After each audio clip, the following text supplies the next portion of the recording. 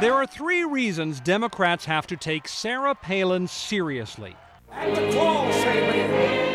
First, evangelical Christians. Political analysts say this cornerstone of the Republican Party has not put its full weight into electing John McCain.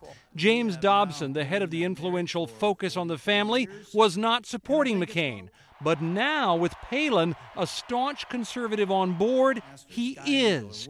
If evangelicals in battleground states follow, they could fire up phone trees and start pumping out emails for McCain, just like they did for George Bush. When you look at sort of your evangelical ministerial crowd, when you look at your conservative groups uh, and the constituencies they represent, she's already energized them. They're already on board with her. The impact, however, is uncertain. A new survey by the Pew Forum found that a slim majority of Americans now believe religious institutions should keep out of politics, reversing a 10 year trend. And notably, Pew found that this change is being driven by conservatives.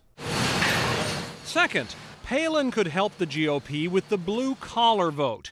Her small town roots, her family, and her status as a Washington outsider could prove a natural draw, making it even harder for Obama to tap into this group that he's had trouble with anyway.